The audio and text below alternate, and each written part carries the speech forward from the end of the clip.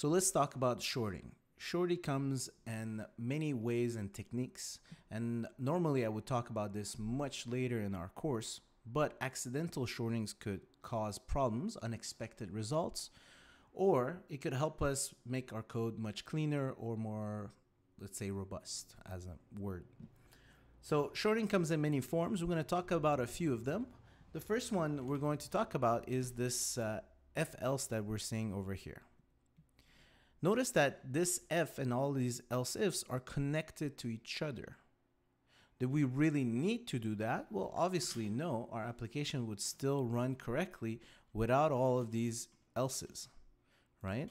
We could have just made them directly become if statements. And this worked out perfectly fine because each one of those statements is different. Is this correct to do this or not? Well, it doesn't matter, at least not at the level we're at. But normally, what you're making it do is making the computer do all these questions one after the next, even though you know that the month is actually a specific value. And in this case, month was four, right? So after it reaches four, we know it's going to run this and none of the other ones because they're all different values. But the problem is you're making the computer do all of them because they're separate if statements. So even though this is true, the computer cannot think ahead of time. So you cannot see that month has already, it, well, the, the month variable was utilized in every one of them. And the only one that was being compared to four was here and nowhere afterwards. It cannot know the future. Well, not the future. It cannot read ahead, is what I'm trying to say.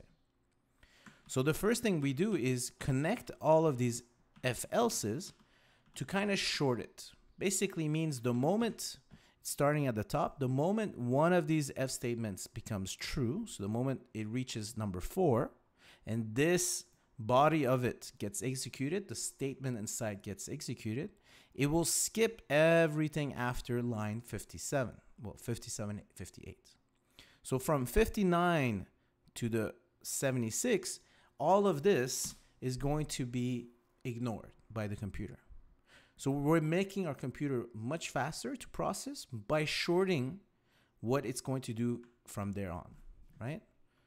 So notice this and this one, number two, they're both if statements. So if it's one or two, it doesn't matter. It will have to do it, both of them, because they're not connected. So this is the first way we could short them is by having our if statements connected. So if that's true, this that it could short and it would stop from going further down, now we have to remember that what our first question is and what our question later on is is important to have in the correct order in the priority. Let's see what that means. Now, if we look in this scenario, we have an age, and based on the age, let's say we're in a bar or something, and based on this age, we want to output one of these statements, right? So if the age is bigger than 18, we want to say you may pass, you may come in. If the age is less than or equal to 18, well, actually, let's change this to bigger than and this one less than. We want to let them know that you're too young. You still can't, you you need to grow a bit before you could come in. And lastly, if they're at 17, you could pass in one year. We want to let them know a feedback again that you could get there in a year. So if we run this right now at age 18, it's pretty obvious. We're going to say you may pass.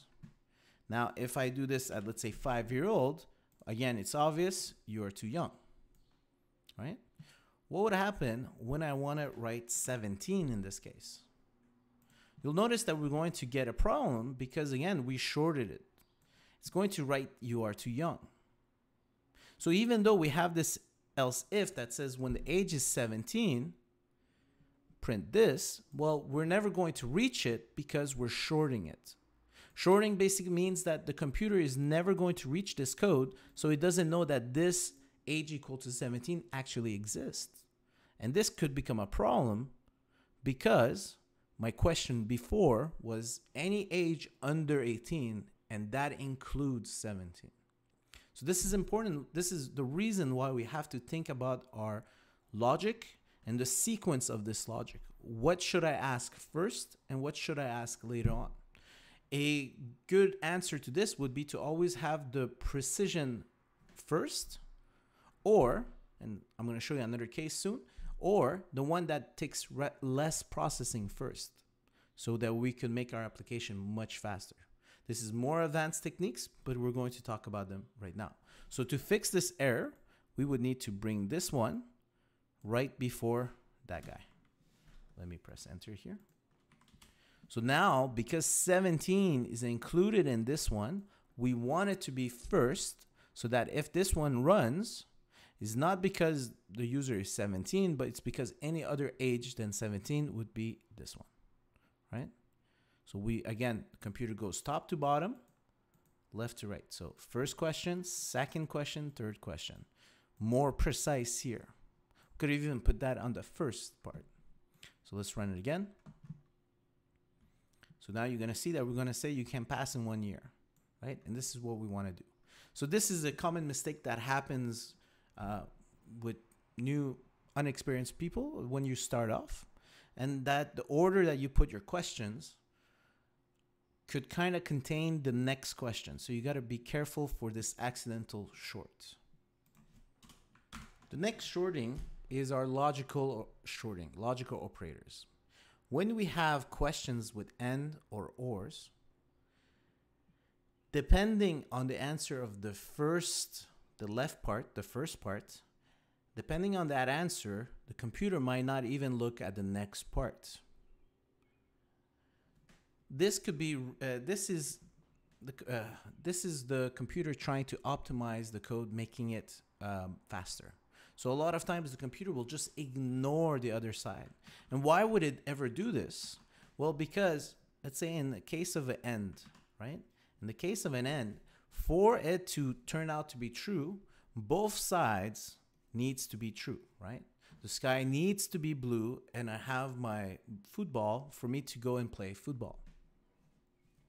So in that case, if the left side is false, it doesn't matter what's here because it will always give out false.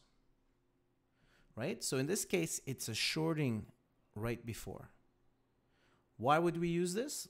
Let's get into that in a second. I just want to talk about the OR, which is the same thing. In the case of an OR, in the case of an OR, you need to have one side as true for it to be true. So we don't really care about what the other side is. Could have also been this is false and this side is true. Well, then it would be true, right? So until one side is true, we don't really need to finish or ask the question on the other side. So a great example is if I have a basketball or if I have a uh, I don't know cricket ball, I could go outside and play. It doesn't matter which ball I have, I could still go outside and play. And this is what's important. Why would we want to do this? Or why would you want to utilize this? And by utilize, uh, well, let's get into it. Well, the reason is as our code will progress, sometimes the condition that we put here, or sometimes the code that we put here, is big. Right now is pretty straightforward. It's just a boolean.